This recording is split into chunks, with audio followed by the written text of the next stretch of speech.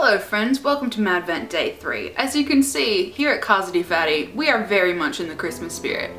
But I know that not everybody is, so I thought that today I would lend you a helping hand and give you some little tips on how to get into the Christmas spirit.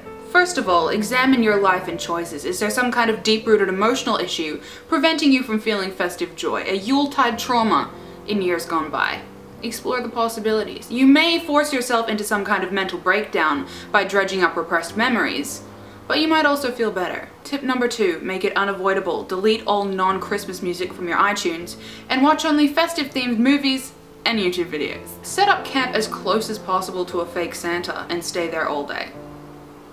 Additional days can be added on if necessary. Wear only red, green, silver, and gold. White is permissible if absolutely necessary, but frowned upon because it doesn't really have that razzle dazzle. Cover everything you own in fairy lights, laundry racks, bookshelves, bed, pets, family members. Concoct a festive greeting and use it exclusively. I would suggest ho ho hello, deck the holla at your girl, or Santa Claus it going. Similarly, start letters, emails, and texts with Rudolph the Red-Nosed Reindeer recipient. Make tiny Santa hats out of construction paper and cotton balls, and place them on every person that appears in a picture displayed in your house posters and drawings included.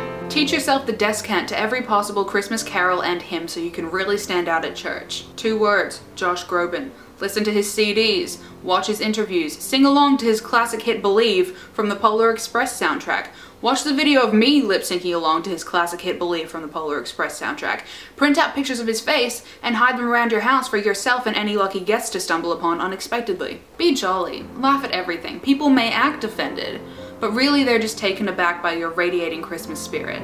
Recreate the nativity. Play whichever part calls to you the most and fill in the rest with friends, family members, stuffed animals, or anything you can find in your kitchen. Become Santa Claus. Gorge yourself on extremely calorie-heavy foods, grow a beard, and peroxide the ho-ho hell out of it. Alternatively, if you can't grow a beard, just sit in a bubble bath till it works. Look into regression therapy to revisit that state of childlike wonder. Reassemble the original Wiggles and cry until they perform the entirety of Wiggly Wiggly Christmas as many times as you need. More Josh Groban. Light a fire. If you have a fireplace, probably use that, but if not, a bin in your kitchen or an open burn in a vacant lot should work fine. Make a list of all the people you feel like you should make amends with. And then throw it in the fire. Don't be weak, Christmas is for winners. Recreate classic Christmas movies. If you have children, try leaving them alone in your house while you go on vacation for a week or two. Make personalized Christmas cards for those you hold dear. Here's one I prepared earlier. Roses are red, violets are blue. It's Christmas time. And finally, if it doesn't work in time, just keep going till next year. It's never too early to start fostering that Christmas spirit. So on that note, the movie that we're all going to be watching between this video and the next one is Arthur Christmas. Now Arthur Christmas is a relatively new Christmas movie, but I watched it last year with Patrick. I think he fell asleep, but I really liked it. So we're going to watch Arthur Christmas. It's going to be a great time. When you watch it, tweet me, use the hashtag MadVent. I stalk that hashtag so frequently. So if you want me to see something, tag it freaking MadVent because I have been on that like three times already today and it's like 3 p.m. So that is it for MadVent Day 3. I will see you tomorrow on my blog and in a video in two days. Goodbye. I'm wearing my Rudolph jumper. I got my Christmas tree set up. I've got a mug of tea the size of my head. I'm so freaking amped right now. Oh my god, I counted normally. I can never do that. I counted like a real person.